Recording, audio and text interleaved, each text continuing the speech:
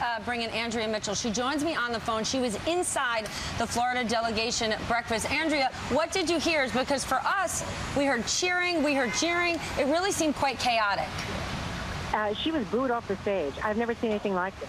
The chair of the Democratic Party, a congresswoman from Florida, uh, who has been enormously popular within her district and is facing reelection, uh, was absolutely booed by protesting Bernie Sanders supporters right off of the stage. She had to break off her speech trying to shout over them, finally gave up and was escorted out by security.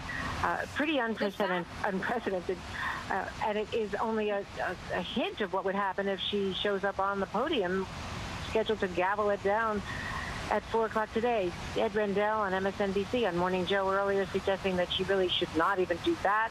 And I think between now and 4 o'clock, there's going to have to be a lot, there has to be a lot of soul searching and a lot of political wisdom uh, for people advising her because I can't see how she can show up on that podium without multiplying the effect of what just happened in a downtown Philadelphia hotel. It was pretty amazing.